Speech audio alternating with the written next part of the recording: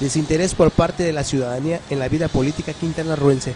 La mala imagen que se tiene de los actores políticos que gobiernan la entidad han causado una apatía por parte de la población en general que se niega a participar en cuestiones político-electorales.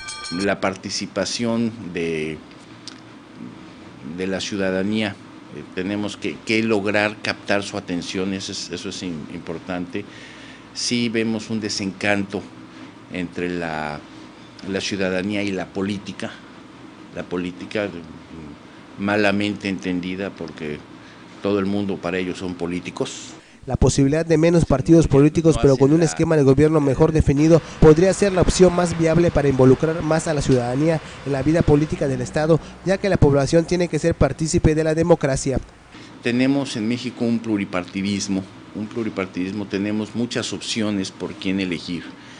El hablar de candidatos independientes es preferible desde mi muy personal punto de vista que fueran menos partidos políticos.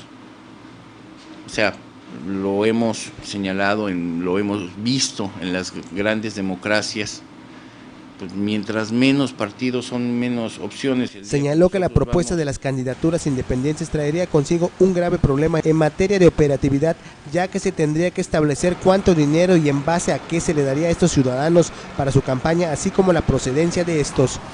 Para Notivisión, José Palma.